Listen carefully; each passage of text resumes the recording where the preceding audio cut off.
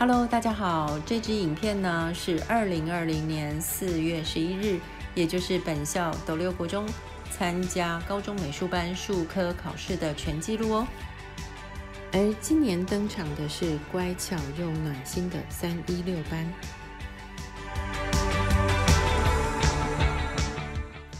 然而，今年情况很特殊，因为碰到武汉肺炎疫情严峻的缘故，所以呢，防疫视同作战。在带领孩子们应考的同时，能够顾及孩子们的身体健康，并且能够全身而退，变成了我们更重要的任务。所以呢，这次的数科考试真的就像是在打仗一样。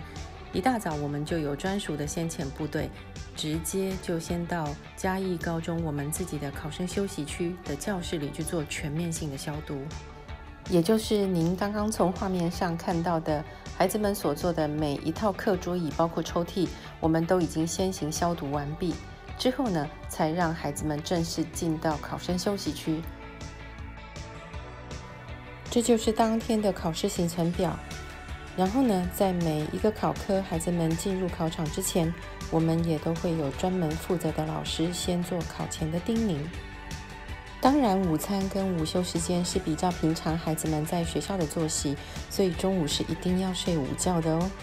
然后呢，我们也很感谢许多老师，包括辅导室，甚至于校长，帮孩子们准备很完整的、丰富的喂食圣品。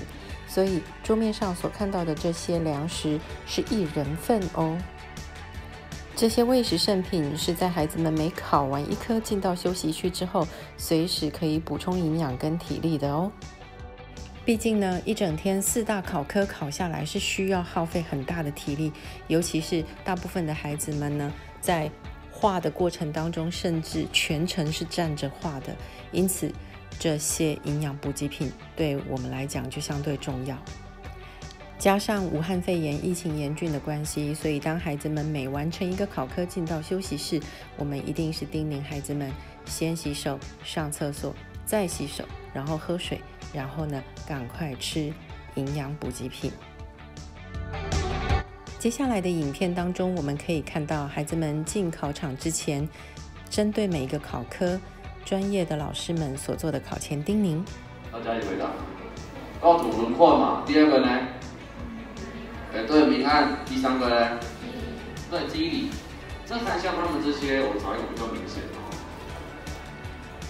好像这个，这边昨昨天有人说不锈钢怎么画？这边大家可以过来参考。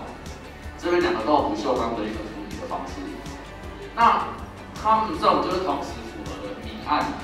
他们你们要记得虚实是比较出来的，就像你们画那个小白一样，如果你单纯只有一个白，就像这只绵羊一样，如果这个后面的背景或这个酒瓶、这个安全帽的帽顶不够深，这只绵羊不会显得它是白色的，懂吗？你不会只单一画一个东西，它就会显得它白，而是你利用背景去衬出前面的前景，它就会显得它是白色。啊，当然说这张这个完整度就稍微比较差，不过那边边角角，我们就做一个省略。好，那我这边讲这几个重点啊。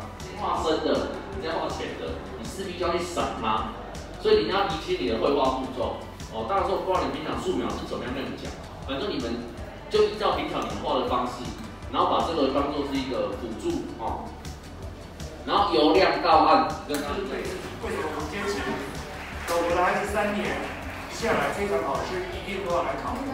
不管你未来要读的是普通高中，是读美术班或者非美术班，至少那都要来检验你这三年在美术领域里面学习来读。而且这样的检视，纵使以后你不在美术专业的领域里面去钻研，你还是有可能在很多领域里面。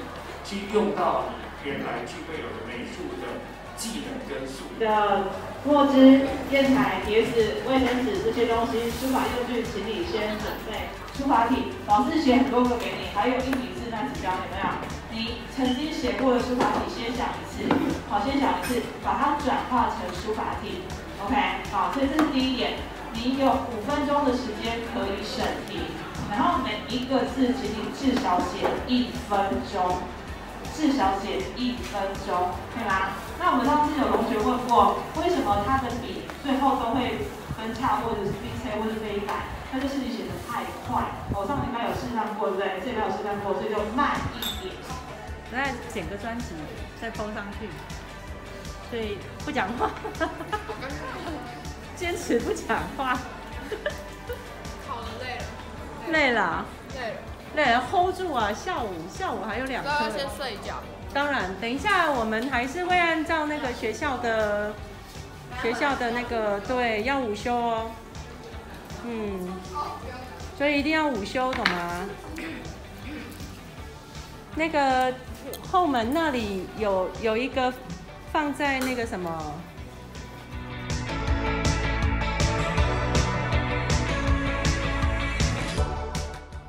以下就是当天四个考科所出的题目。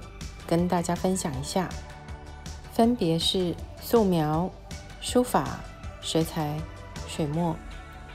在这边也衷心祝福今年这一批孩子们，个个都能够有自己的美好一片未来，也预祝他们金榜题名哦！斗六国中加油！